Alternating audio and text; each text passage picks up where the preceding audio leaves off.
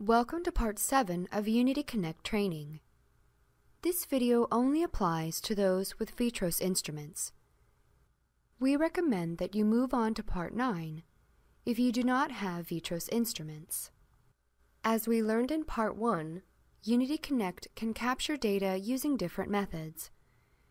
This video only applies to those using the data file method for Vitros instruments.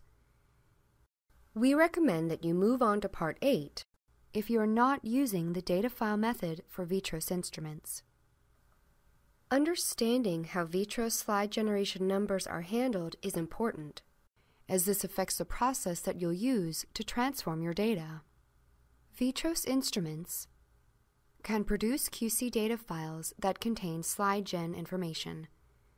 Unity Connect is able to use this information to automatically process slide gen changes. However, imagine a case where Vitros data flows into an LIS or middleware. While a user may see the slide gen information in the LIS or middleware, it may not be included in a QC data file. This means that there are two different processes for handling Vitros data. Let's start with a case where SlideGen information is included in the file. The typical process for transforming data is straightforward. Let's begin by verifying that the correct transformer is selected. Select a date range. Click the Go button. Select the folder where the data is kept. And click the Open button. Unity Connect transforms the QC data into a Unity-friendly format and it's ready to be imported into Unity Realtime. Now let's look at the process for transforming a QC file that contains Vitros instruments but no SlideGen data. Begin by verifying that the correct transformer is selected. Then click the Configure button. Navigate to the Config Gens tab.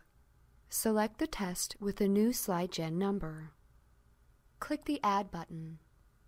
Enter the date and time that the change to the new SlideGen number occurred. Select the new SlideGen number. Click Save and Close. Now you can process your data. Click Go. Select your QC data file and click the Open button. Unity Connect transforms the QC data into a Unity-friendly format, and it's ready to be imported into Unity Realtime. Continue your training by skipping to Part 8.